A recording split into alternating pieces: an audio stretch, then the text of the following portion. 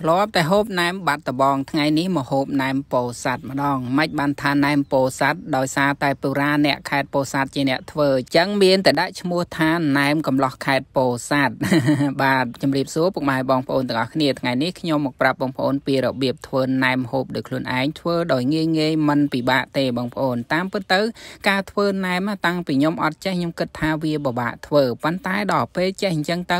គឺអត់មានអីពិបាកទេបងប្អូនគឺងាយស្រួលបំផុតគ្រឿងផ្សំយើងមានម្ទេសក្រហមម្ទេសខៀវត្រីរ៉ស់រ៉ូឌីខ្ទឹមសរំដេងកសប៊ីចេងនិងជាចុងក្រោយស្លឹកកន្ទួតណែមខ្លះគេដាក់ស្លឹកកន្ទួតតិចតិចទេប៉ុន្តែយើងដោយសារតែមានស្លឹកកន្ទួតខ្លួនឯងចឹងដាក់ឲ្យច្រើនច្រើនមកទៅវាឆ្ងាញ់ហើយបន្តទៀតហ្នឹងគឺយើងចាប់ផ្ដើមផ្លះសាច់ត្រីយើងជាមុនសិនណាដោយសារតែយើងផ្លះវាយកស្បែកយកឆ្អឹងយកអីចោលឲ្យអស់ចឹងណាយើងយកតែសាច់ទេសូម្បីតែខ្លាញ់វាក៏យើងអត់យកដែរដោយសារតែបើសិនតែមានជាប់ខ្លាញ់ជាប់អីអញ្ចឹងពេលដែលយើងធ្វើណែមទៅវាអត់ឆ្ងាញ់ទេហើយការដែលផ្លះត្រីនេះខ្ញុំអត់សូវប៉ាន់ផ្លះទេបងប្អូនអើយអញ្ចឹងមើលទៅរៀងឆ្គងបន្តិចដោយសារតែអត់ជំនាញអញ្ចឹងណាបន្ទាប់ពីផ្លះវាចេញពីខ្លួនវាអស់ឆ្អឹងអស់ហើយហើយយើងយកវាមកផ្លះយកស្បែកចេញបែបហ្នឹងមកបន្ទាប់មកយើងហាន់វាឲ្យល្អិតតូចតូចមកល្មមនិយាយទៅឲ្យតូចតូចងាយស្រួលក្នុងការកិនអញ្ចឹងណាបើយើងហាន់ធំធំពេកក៏វាពិបាកកិនដែរបន្ទាប់ពីហាន់សាច់ត្រីរួចស្បែកជ្រូកយើងហ្នឹងហើយស្បែកជ្រូកនេះដាក់ច្រើនតិចអីតាមចំណូលចិត្តបងប្អូនតែដោយសារតែខ្ញុំត្រី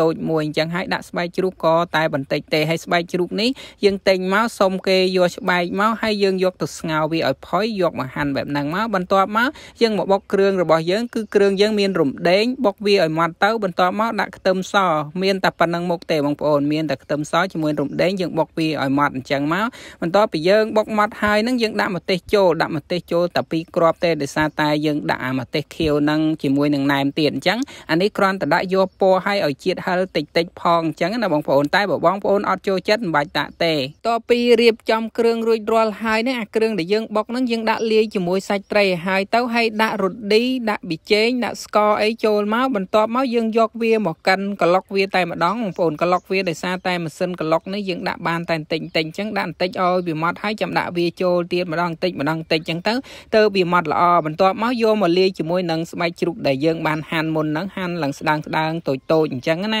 ដោយសារតែសាច់ត្រីវាតិចដែរហើយនេះគឺឧបករណ៍ធ្វើណែមរបស់ខ្ញុំមានថង់ធំហើយនិងថង់តូចអាថង់ធំនេះយើងវះវាអញ្ចឹងមកដើម្បីយើងយកទៅមូសាច់ណែមរបស់យើងបើយើងអត់វះអញ្ចឹងទេយើងមូទៅវាពិបាកអញ្ចឹងណាហើយខ្ញុំដាក់ស្លឹកកទួតចំនួន3សន្លឹកដាក់សាច់ត្រីមកល្មមមកមិនបាច់ធំពេកទេព្រោះថាយើងធ្វើតូចតូចអញ្ចឹងណាធ្វើធំធំពេកក៏វាអត់ស្អាតដែរធ្វើតូចតូចអញ្ចឹងទៅរៀងវាស្អាតតែម្ដងបងប្អូនដាក់មកឲ្យមូវាធ្វើម៉េចមូឲ្យណែនណាបងប្អូនចំណែកឯចង់បានវែងឬក៏ខ្លីអាស្រ័យទៅតាមការមូរបស់យើងមូចង់ឲ្យវាវែងយើងបន្លាយវាឲ្យវែងតិចមកច្បាច់វាឲ្យណែនមកហើយបើយើងចង់បានខ្លីធ្វើវាឲ្យខ្លីចឹងមកនេះខ្ញុំឆ្លាញ់ប្រវែងប្រវែងហ្នឹងហើយអញ្ចឹងហើយក៏ខ្ញុំយកប្រវែងហ្នឹងមូហើយយើងផ្ចិតអាហ្នឹងឲ្យចិត្តទៅពេលដែលយើងមូហើយគឺយើងគួចគូតគូតវាហ្នឹងឲ្យចិត្តចឹងហើយយើងស្រក់ចូលថង់មួយទៀតណាបងប្អូនថង់នេះវារៀងធំជាងណែបន្តិចអញ្ចឹងហើយពេលដែលស្រក់ហើយគឺខ្ញុំបាត់វាបែបនេះមកហើយបន្ទាប់មកហ្នឹងមួលមាត់វាឲ្យជាប់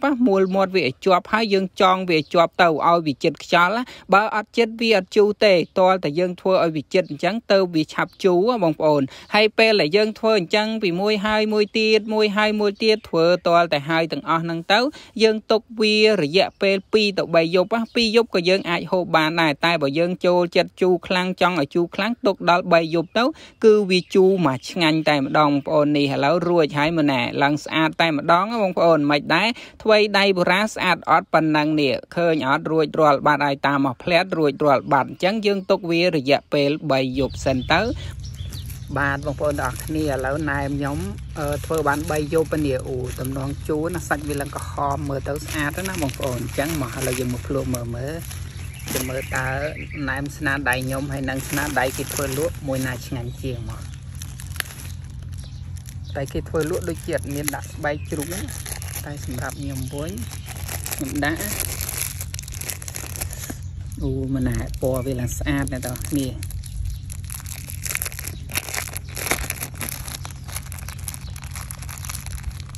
អូមិនណាតំណងណាអឺជូរមកល្មម3យប់ហើយនេះមានម្ទេសនៅក្នុងហ្នឹងទៀត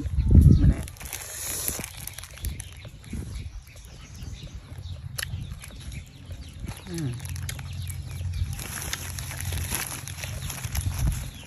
ួយឆ្ងាញ់ណាខ្ញុំធ្វើអត់ទៅស្អាតទេមានខ្លះខ្លីខ្លះវែងអីចឹងដាក់វម៉ៅធំធំពេកណា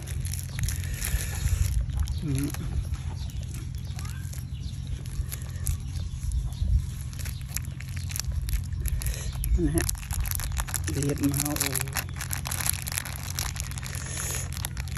មានទាំងស្លឹកកតួទៀតខ្ញុំដាក់ស្លឹកកតួទៀតច្រើនតិចដោយសារហូបខ្លួនឯងដាក់ច្រើនអឺ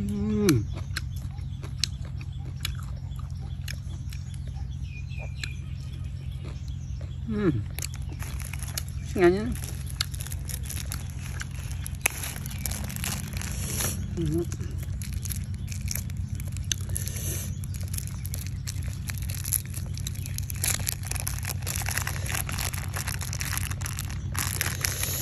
មិន